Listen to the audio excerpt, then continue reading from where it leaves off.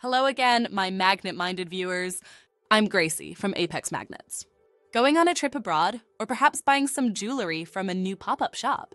Let's say you just bought what's supposed to be a gold ring, or maybe a silver necklace. But how can you be sure it's actually real? The answer might be simpler than you think. You just need a magnet.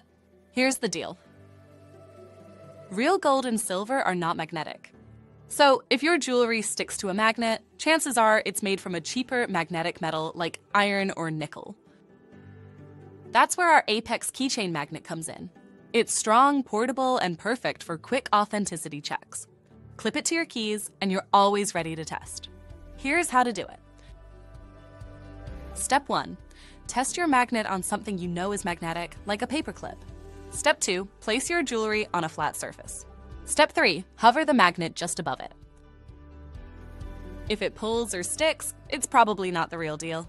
Now, a heads up not all fake metals are magnetic. Copper and aluminum, for example, won't react to a magnet either. So, if your piece doesn't stick, that's a good sign.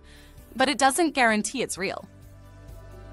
Whether you're checking jewelry, coins, or just love testing things out, you now have a nifty little tool you can take anywhere. Shop now and explore more cool magnetic uses at apexmagnets.com.